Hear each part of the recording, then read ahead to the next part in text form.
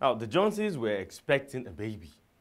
The ultrasound scans revealed that it was a boy. Now, a family meeting was called to choose a name for the child. On that said day, Mr. Labi, their neighbor, showed up. Now, everyone was surprised. How did he know? He was excused from the meeting because he wasn't a member of the family. Uh, serves him right, I guess.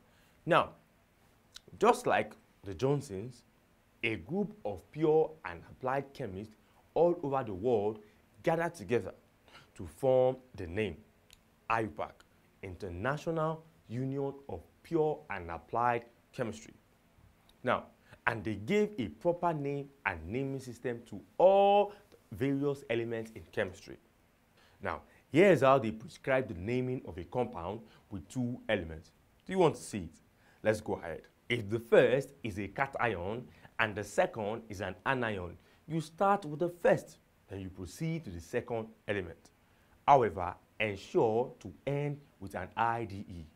Now, in particular, NaCl is a combination of sodium and chlorine. It would become sodium chloride. Wow, that's simple, right? So what have we learned? We have learned that IUPAC, International Union of Pure and Applied Chemistry nomenclature, is the acceptable system of naming chemical compounds. Now, the naming is determined by the constituent elements in the compound and the oxidation number if necessary.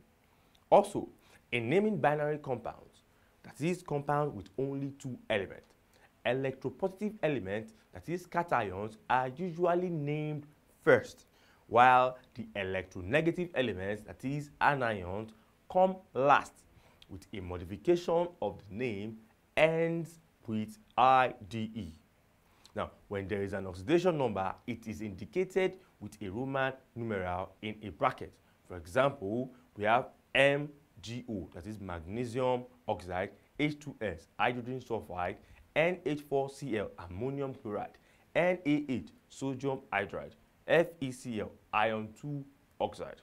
However, in cases where the two elements involved are non-metals, the above rule is not followed. For example, H2O, water, NH3, ammonia, and PH3, phosphine. Insightful, right? Now, I hope you enjoyed that class. See you in next class. Bye for now.